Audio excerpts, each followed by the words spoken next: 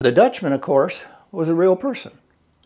Um, everything is just about everything is known about him here in America when he arrived, except how he got to California with the 49ers. They don't know if he went around the Horn or he walked across the Isthmus or that he went overland or what. That's about the only thing they don't know about him being here.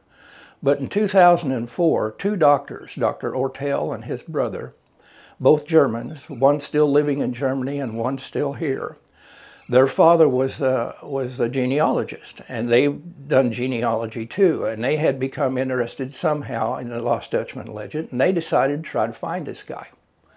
Now, there's been a lot of books written about Jacob Waltz, and one of them um, had, had his birthplace and all that, and they disproved this completely.